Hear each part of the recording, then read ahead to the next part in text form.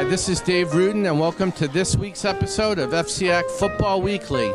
We're coming to you live tonight from Bobby Valentine's in Stamford, and we want to thank our sponsors Blue Streak Sports Training, Carl Chevrolet, and Innovative Health and Rehabilitation. The Westhill High School football team concluded its best season in 26 years Thanksgiving morning with a resounding 40 to nothing win over rival Stamford. It gave the Vikings a 6 and 5 record, their first winning season since 1987, and clinched their first city title since 2007. And we'll be back right after this. I want to thank our sponsors, Blue Streak Sports Training, Carl Chevrolet, and Innovative Health and Rehabilitation. Hi, this is Dave Ruden, and we're here with the final episode of the year of FCIAC Football Weekly, and we're honoring the Westhill football team tonight, finishing up a six and five record, first winning season since '87. And joining us here on the first spot is uh, the person who's helped turn the program around, Coach Frank Marcuccio. And also joining us is his best friend now, the City of Stamford Championship Trophy. Frank, first of all, congratulations. I'm sure it's got to be very satisfying to bring this baby home. Yeah, it was. It was really satisfying. It was a great win on Thursday. Talk a little bit. I know it's been uh, a little bit of a week, but just talk a little bit about the win and what it meant beating Stamford and winning the city trophy. Well, I, I told the kids all week it, it was you know for two weeks that you know we're lucky we get to play for a championship. Not a lot of schools do. Um, on Thanksgiving, it had a lot of meaning. You know, we wanted to have a winning season and win the championship for the city. It meant everything to this program to be able to take that next step, and the kids, you know, they answered the call. Let's backtrack a little bit just for some context. I know the record says two and eight last year. You were six and four. You know, through circumstances beyond your control, you had to forfeit four games. Was there a feeling we're six and four and let's go out there again this year and, and prove we're a winning team? Oh, from the start. I mean, from the start, we we basically said to the kids, look, we know that you know people are going to be saying this was a fluke, it was a one season wonder, and that kind of stuff. And we were out to you know set it, set the table that you know we're a program that is back and is going to be here to stay. And I know this started right from. Uh, the beginning during the off season. I, I, know you guys have trained really, really hard right from almost the end of last season to get to the point where you were prepared for this year. Yeah, I mean, we start, you know, traditionally from where I'm from, up in the valley. You always start Thanksgiving as the start of the new year. I mean, we call Valley New Year up there, and the kids know that. And we started last season at Thanksgiving. We beat Stamford 20 to six you know, we got the win to, to get us six and four on the field, even though the record said two and eight. And you know, I, from there on, it was you know hard work, and, and we'll we'll start it, that again. You know, we did it this year, and we'll start again for next season now. What's it take to turn a program around? Obviously, the team had struggled before you got here. Uh, you know, I think when the team's struggling like that, the kids don't feel about good about themselves. Maybe some kids don't even want to come out and play for the team. What does it take to rebuild a program? Well, we, you know, I, I've been through this a couple of times, and we recruited the halls. We got the kids out. We got the kids interested. We brought Blue Streak in. We brought some different things in that we wanted to do with the program, um, and I think that the kids really you know, responded to it. I mean, we struggled at the beginning of this year. We were one of four. And, you know, we came into t- time you have to know sometimes when to push a button. And I went into halftime at a Trumbull game and said, you stink, you're benched, and put the JVs in. And we're five and one since. So I think that the kids realized then that they weren't playing to their potential and they were just underachieving. And since then, I'll take five and one. That's what was, my next question was going to be. You went five and one. Obviously, you had to sort of change the mindset, but tangibly, in terms of players, talent, what turned the season around for you? Well, I think it was just that Trumbull game. I think we just hit a low, and you know the kids realized we just weren't playing good football. We were making too many mental mistakes. We were turning the ball over too much. You know, we had the come from behind victory against Trinity, and you know we really needed to to right the ship. And we went up to Bridgeport Central and did that. And then after that, it was just believing in ourselves. And, and, and you know, the Ludlowe game was huge. We blocked the extra point, and, you know, we run the clock out for three minutes and seven seconds. And, you know, there's not a lot of teams that can come back from behind one week and then the next week have to run the clock out, and we did both, and we've done it a couple of times this year. Where do you go from here now? You, you proved you weren't a one year wonder. Now you want to prove you're not two year wonders. I'm sure you feel like you have a solid foundation in place that you can build and grow on so this becomes uh, consistent? Uh, yeah, I, I think that this junior class in particular is a very smart class. They're a very together class. They've carried us uh, a lot this season. We're going to return seven, eight guys with varsity experience on both sides of the ball. You know, we're going to lose our quarterback. That's going to be big shoes to fill. Uh, we're going to lose a couple of receivers. Those are going to be big shoes to fill.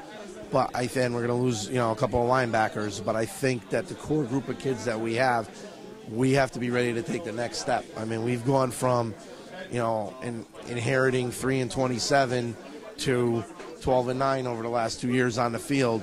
We have to take that next step now. I mean, we're a couple of plays this year away from being seven and four, you know, eight and three. I mean, the Norwalk game, Dante couldn't play because he was suspended from last year's Stamford game.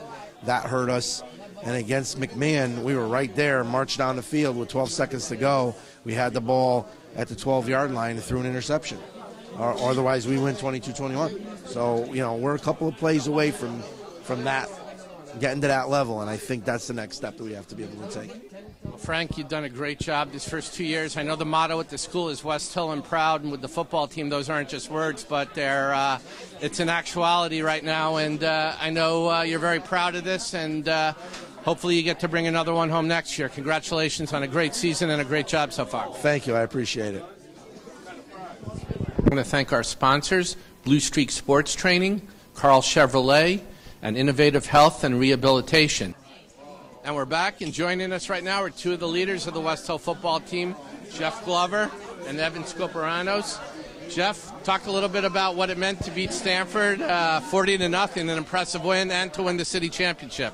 Um, it was great being our city rivals. Um, you gave us bragging rights throughout the year, topped off a great senior season for me, Evan, our other two captains, and it gave me this heartwarming feeling that, that we really needed. The good season. Talk a little bit. The team's one and four after five games. What's the mindset of the team right then? Uh, the mindset of the team was that we just need to come out, get a win, and just make sure we dominate our city rivals and end the season on the right note. You guys five and one the last six games. What were the keys to you being so successful? Um, yeah, a lot of kids came, were out, came back healthy, better than ever, including me, including another another captain, and came back collected as a unit and mind focused, ready, set to play. It's had to be a pretty good. You have to be pretty happy with the year the team had. Yes, I was extremely happy with what the team had. A lot of guys stepped up when we really needed it, and I was extremely happy with what, what we did at the end of the season. Evan, you had two touchdown catches against Stamford. You had a few uh, big catches in some of the tough wins this year. What was it like having a big game against your city rival and to finish with uh, Westhill's first winning season since '87? You know, you always want to go out and do your best. You know, always help your team out, especially when you can score and put points up on the board. But uh, for Stamford High regards, um, it's an awesome feeling. Like when once we won that game, you know, words can couldn't, words can describe how happy I was. You know, going out there, being your city rival, your last year, your senior season. People will remember that. People remember, oh, you're that team that uh, won the city championship and won 40 to nothing against Stamford High, and it's it's awesome. Words can't explain it. Talk a little bit about you know you were here two years ago when the program was struggling, and now you've been here for the last two years where the program's been so successful. What's been the turnaround? First of all, what was it like after your sophomore year when the team's struggling? You know, it didn't look too good. You know, one and nine our, my freshman year, and then uh, 0 and 10 our sophomore year, and it just looked like everything was going downhill. But you know, Coach Marcuccio came in. He was our defensive coordinator our sophomore year, and uh, came in and changed all of us. You know, the attitude changed. Uh, we were all into it. More players came out, more hardworking. The, the practices were like on target. You know, um, the whole mood of the team changed. Everyone was excited to play. There was no heads downs. Everyone's heads up. Oh, we want to do something about it. And you know, we were a family, and uh, that's what brought us together the most. It's got to be a great feeling when you walk around the hallways at school and you know you're getting pats on the back. You get a good crowd at the games. It's got to be a very satisfying feeling to coming from where you were two years ago to where the program is right now? Absolutely. You know, 0 and 10 is very hard to go over, and then you come back your senior season and you come 6 and 5, which is a winning record. It's just amazing. You know, um, can't ask for anything better, especially from my teammates, my family, my friends, and everyone all together. All right. Well, Jeff, Evan, I know how hard you guys have worked, and I know how happy you are, and uh, we're all happy for you. Congratulations, and enjoy the off season. I want to thank our sponsors, Blue Streak Sports Training, Carl Chevrolet, and Innovative Health and Rehabilitation. Okay, we're back for our final spot of 2013, and joining us are two more of the stars of the Westhill football team. We have Dennis Hart Lima, and we have Dante Fargnoli. Dennis, uh, you're the tackling machine. Uh, talk a little bit about the defense and the job you guys did. Um, the defense was great this year. Touchdown, Vikings, and number 28, Josh Exantis. Whatever, uh, whatever happened, we needed to do, so we got it done. You had 119 tackles this year. I'm pretty good with my math. That's just over 10 a game. Uh, what makes you so good going to the ball? Um, actually, I only played nine games this year, but yeah, I've just uh, got a lot of speed this summer. Worked on it really hard with Blue Streak, and it really paid off. And just flew flew around to the ball. I guess my math was really off there. So, uh, talk about talk about what it means to win your first city championship in several years, and more importantly, first winning season in 26 years. Uh, it was it was really important that we got this done. Um, to get the winning record, we needed to beat Stamford High, and we kept drilling that into everybody's head that if we want this winning season for the first time, we have to take the city championship with it. So we wanted to beat them more than anything, and we showed that. Dante, I think I got your last name right there. I got hit the G, I hit the N. Uh, you led the team in receptions this year. Talk about uh, first, talk about the Stamford game and how good it felt to win the city championship. Yeah, that was a great win for us. I mean, our goal going into the season was to win a city championship, and uh, to do that for the first time in years was a great feeling. Uh, it gave us a great sense of achievement that uh, it really we really deserved it. I can say this is the first time I've asked this question uh, all year, but you're one of the top return men in the FCIAC this year. What does it take to be good on special teams as a return man? When do you decide when you're going to do a fair catch? When do you decide I'm going to gut it out and make the play? How, how, does that all work? Well, actually, I couldn't do it all without my special teams coach, uh, Joey DeVillis. He sets up great returns. He's always right by me to tell me if I can have room or not to catch the ball. And uh, he sets up great returns. My blockers do a great job, like Keontae and uh, Ozas. So it really goes out to them. Okay, last question of the year here. What does it mean for Westhill? Six and five, uh, winning season, the trophy behind you, a lot of pride at the school. What does it all mean, and what are you going to remember most about this year?